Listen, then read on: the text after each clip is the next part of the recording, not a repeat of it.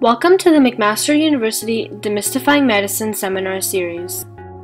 This video is intended for intensive care unit patients and will cover prevention strategies of the physical and psychological effects of being in the intensive care unit, or ICU. The ICU is a unit in the hospital where seriously ill patients are cared for under close observation by specially trained staff. During this time, the patient may be held in restraints with tubes and wires attached to them.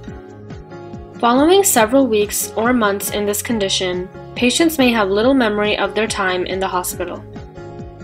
Patients who survive critical illness and intensive care commonly experience a range of symptoms, collectively known as post intensive care syndrome, or PICS.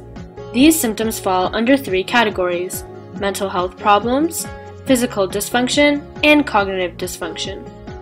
The physical dysfunction associated with PICS is called intensive care acquired weakness and is characterized by weakness that occurs due to prolonged bed rest. According to a study conducted by Norden and al. in 2012, limited activity levels and excessive physical assistance for even the most basic tasks can cause ICU weakness in as little as 4 to 7 days. The term ICU acquired weakness describes critical illness myopathy, CIM, and critical illness polyneuropathy, CIP, or a combination of both. Critical illness myopathy, or CIM, results in extraordinary muscle weakness.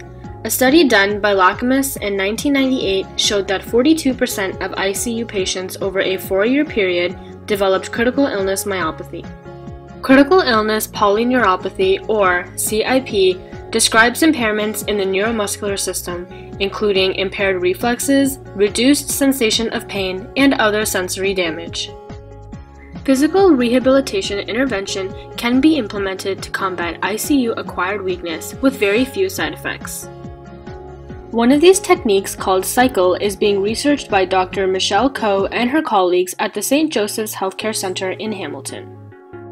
The cycle program is designed to improve lower extremity strength for patients. Within a few days in the ICU, the muscle diameter decreases by 5%, and within a week alone, the muscle diameter decreases by 15%. Cycle offers in bed cycling along with a breathing machine and has been proven to help decrease the weakness and muscle wasting that can occur from prolonged sitting or bed rest. Some patients have even shown muscle fiber growth with early intervention of this program. The psychological effects associated with PICS stem from the patient trying to cope with their critical illness and any fears associated with it. This may create an effect known as trauma. Patients may also experience delirium. Symptoms of delirium include confusion, hallucinations, and disorientation. The main goal of the ICU is to keep the patient alive, but it can also contribute to the fear and anxiety they will experience. Being connected to all sorts of tubes and catheters can be unsettling and violating.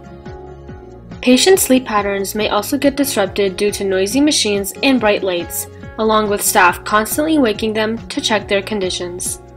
The aftermath of all this stress can be physically and emotionally taxing and can have significant effects on the body. When you're stressed, your brain fires off a chain of signals that triggers a stress response. This stress response allows the body to release stress hormones, such as adrenaline and cortisol. This turns on the body's fight or flight response, which is a built in alarm system that alerts your body about any immediate danger. Normally, once the stressor goes away, this response turns off and your body returns to normal.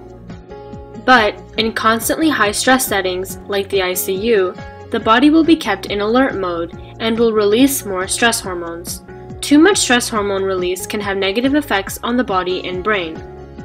This interferes with how the brain handles stress, which can have major effects on mental health.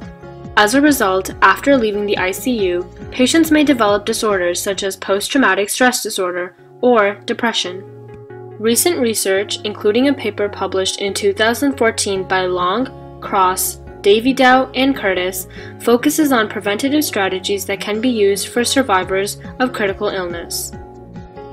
Some suggested strategies include avoiding overuse of sedation, particularly one type called benzodiazepines, keeping ICU diaries outlining personal experiences, introducing coping and mindfulness techniques after discharge, and psychological intervention while in the ICU. In 2011, Peris and al. published a study examining the effectiveness of psychological intervention. This includes educational interventions about symptoms patients may be experiencing, counseling, and stress management. They found that intervention resulted in lower anxiety, depression, and PTSD symptoms, as well as decreased dependency on psychiatric medications. If you're experiencing these issues, you are not alone. Caregivers, family members, and up to 40% of ICU survivors also suffer from these problems.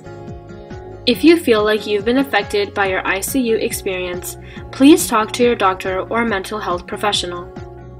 For more information and helpful resources, visit the Society of Critical Care Medicine at the Patients and Families tab. The link is in the description of this video.